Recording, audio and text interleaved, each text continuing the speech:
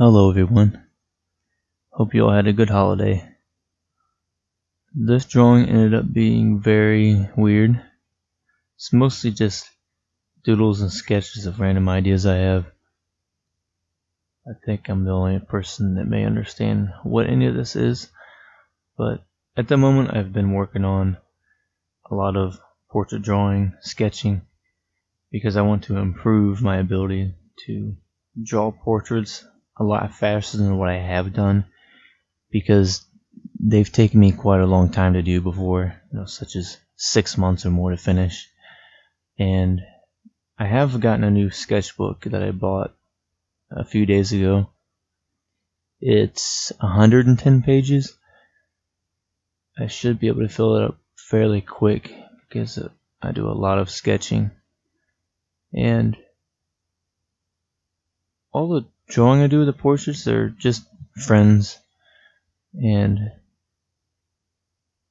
this drawing, I'm not sure what that is. It looks like some kind of serpent or something. I have no idea.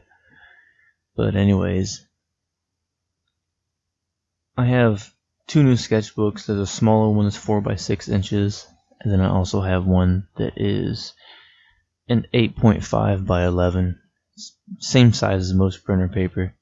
I was before using an 8.5 by 11 cardstock paper to do a lot of my drawing on. I had actually used them. I hole punched them and I put them in binders. And each of the binders hold about maybe 60 pages, 80 pages. But they're pretty bulky and I find it a lot more convenient just to start using sketchbooks.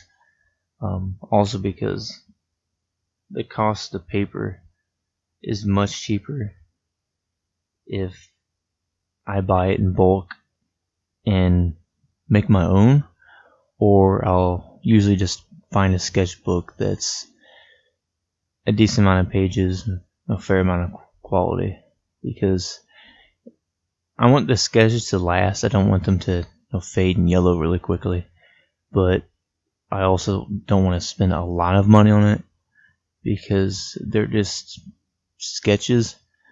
They're not finished artwork. If I want expensive paper, then that's what I'll use for my expensive artwork, such as the finished artwork.